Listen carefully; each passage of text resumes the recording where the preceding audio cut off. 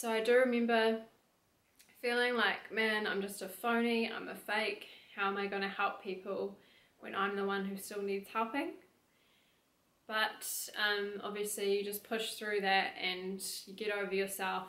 And that's when I started doing, you know, personal training. When I started doing personal training, I spent quite a lot of time first, like understanding weight training for myself and learning the techniques of proper weight training like deadlifts and squats and things like that.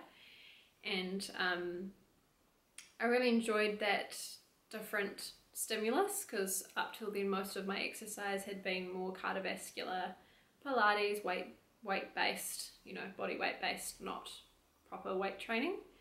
And so I enjoyed adding that to my bow my repertoire. And I think I went a little handy guns on the weight training. I got too excited by that for a while and did that a little too much. And then after a few years of feeling like I'd forgotten my true love of dance and Pilates, I came back around and have a more balanced kind of workout week now. Now I'm definitely someone who will do weight training three or four times a week, sometimes not even that and I spend most of the other classes doing things like dance, Pilates, barre or gymnastics or something a bit more functional and I think that for me is perfect. That's the way I like to exercise. Got another plane, I'll just give this a moment. And in terms of my nutrition now, it's taken me a very long time, but it's just been really gradual. Like I'm, I was thinking about it, and like I cook for myself now three or four nights a week I often, because I'm still single, I'll cook on a Monday and that we'll have enough food for Tuesday and Wednesday or just Tuesday and then I'll cook on Wednesday and there'll be a double portion that'll keep me going for the next two days and I guess I've just slowly built up a, a few meals that I'm comfortable cooking. I'm still uh, not that confident when it comes to the kitchen and cooking and I don't love it I won't lie to you, it's not something that I've come to love, but I've come to appreciate and understand that it is an act of self love. Nourishing your body and eating well is actually one of the best things you can do for yourself and also just for your body composition and your health. And often my motivation comes to like, I want to work in the arts, so I've got to have my body in a certain way to get that work. And I know that's not the best motivation, but that is truly what motivates me. And, and obviously looking after my health, I feel better when I eat better and I don't drink heaps of alcohol because I don't really like that feeling of having a headache or a hangover the next day. So I think I eat quite a healthy diet now, but it's still not the best to be honest, and I still have a sweet tooth. But I'm always aware of my nutrition and I'm always trying to make tweaks and improvements. But I think one of the best things that I allowed myself to acknowledge is that you are allowed treat food. And for me to get over binging, back when I used to binge, I couldn't have food in the house that I would binge. Like I just couldn't do it. But over years of kind of practice, I was able to have little and often, like what I started to do is I would buy a little Santi bar, like one of those small chocolate bars, out when I was out and I would eat that. So I would have a little bit of chocolate every day so that I couldn't binge, but I wouldn't have it in the house. And then eventually now to the point where I can have a whole block of chocolate, I can have ice cream in the freezer, I can have brownies on the countertop, and I can control myself. There is self control there because in my head I know I can eat it if I want to. There's no no one saying you can't eat that. I'm like, no, I can. I actually can eat that if I want to eat that, but I don't want to because I don't need to. It's still going to be there tomorrow. I'll eat it when I feel like it. And I think removing that pressure of someone saying you can't eat bad food is the best thing you can do because to be honest, no food is bad.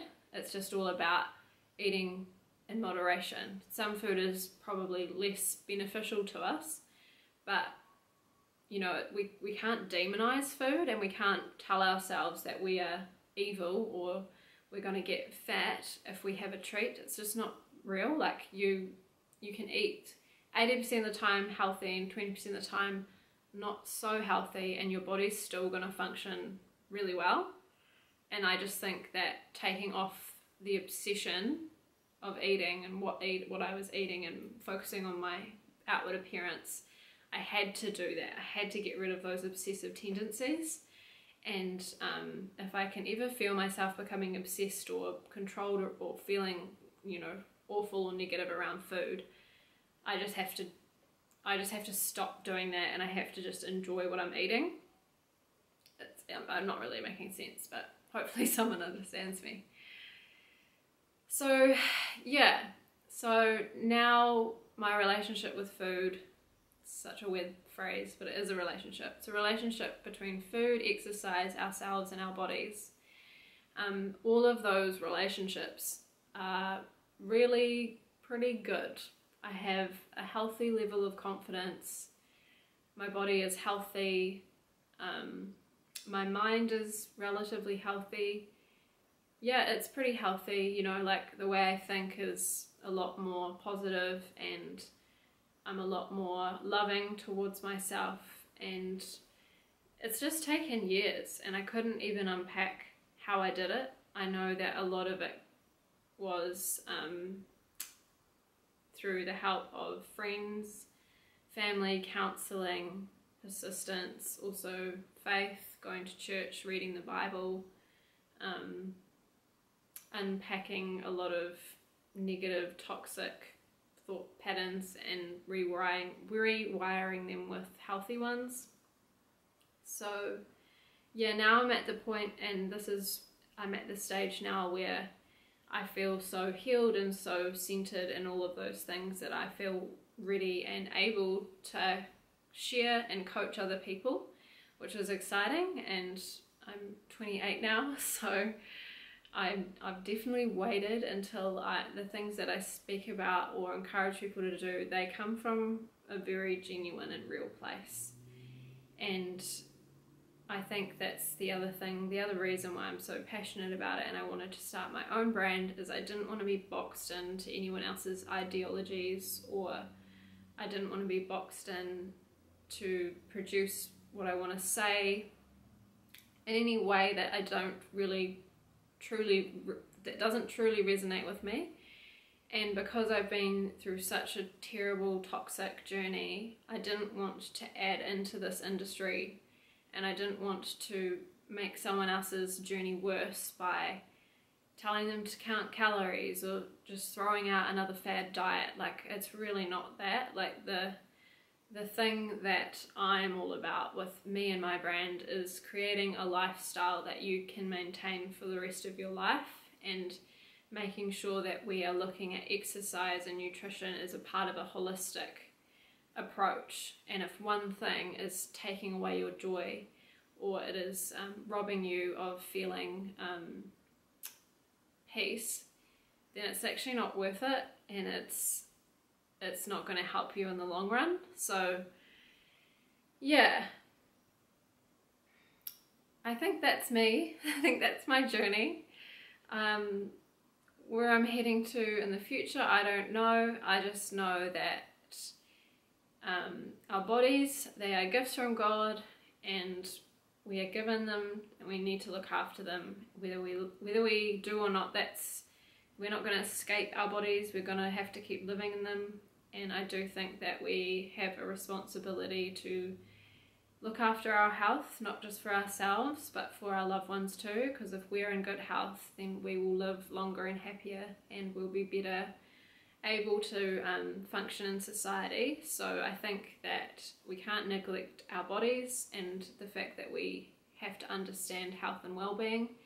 And I don't think that we should obsess over them or worship or idolize them I think that there's a real negative, toxic culture, especially in social media and especially with young women looking up to celebrities and fitness influencers, thinking they have to change their bodies to fit a societal standard.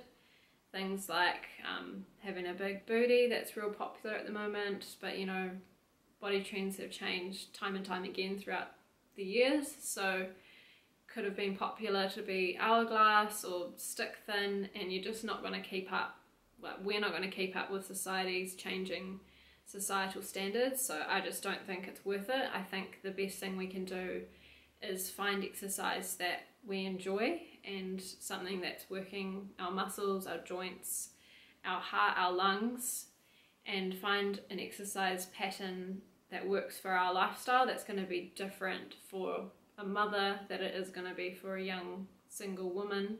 So there's no pressure, like, you know, I can't expect someone at a different age and stage to do the same thing as another person. There's just no point in comparison. I think um, that we should be eating healthily, um, as much as little processed food as possible, just back to basics, you know, eating carbs, proteins, fats. Let's not make things complicated, it really isn't. I think the hardest thing for most people is to have consistency and to have the motivation. And I honestly think those are the two hardest things when it comes to, having a healthy lifestyle because we have all the education, we have all of the resources at our fingertips. It's actually about our mind and about our will, and I think those things are the things that take the longest to actually get into alignment. But I think it's possible, so I am all for sharing and giving the resources, and that's why I've spent a long time developing my online app because I want to give all the resources. I want to have the platform to speak. I want to continue sharing and encouraging people. And the reason why I've spent this long talking to you guys to the camera to share my journey is to finish on this that if I can do it, I was genuinely so negative, so stuck in such a horrible mindset. If I can be free of it, if I can find a way out if I can overcome an eating disorder. And, um, you know, I'm not saying I did that alone, I definitely didn't. But if, I, if I've done it, there is hope. If anyone who is listening to this is struggling with an eating disorder or you're, you're really struggling with your self worth and you're finding the answer to your worth in places that are not helping you, I really want to encourage you that you are worthy as you are without changing anything. My belief is that I'm a child of God, so you are too, and that by being a child of God, that means that we are co heirs or we are um, with Christ as a son, as a daughter, and we are like royalty when we're we're in the royal family so that means we're very worthy like it's like imagine yourself as a king or a queen or a princess or a prince. Like you are incredibly worthy and you're incredibly precious. Life is precious and it's not to be taken for granted, and um, we need to get free of the things that weigh us down mentally so that we can pursue what we need to in life. You know, our lives are short and they are numbered, and we've got a lot to get on with in life. So, if you were like me and you were trapped in negative self belief and negative thought patterns, the first thing we need to do, plain. The first thing we need to do is to get our head on straight, get those thoughts changed, take them captive, and actually agree with the truth, and that is that our lives have a purpose. We are created by God, we are not a mistake, and um, we have a job here to do on this earth. And um, yeah, I just encourage anyone who is going through a tough time with any of that, anything that you might have shared, like me, that you, you won't be stuck in it forever and you will be free of that negativity, you'll be free of that, con- that control, that con- obsession. And um, little by little you'll start to find your joy and find your purpose and reclaim your life back. So if i can do it so can you i don't know exactly how and i don't know how long it will take but don't give up hope um, and don't give up on yourself. Yeah, okay. We're going to put this into two parts because that was a long conversation. Thanks for sticking with me, guys, and excited for all that is to come. And thank you for listening in. If you have listened to this far, you are a true OG fan or supporter. I don't like the word fan. You're a true supporter.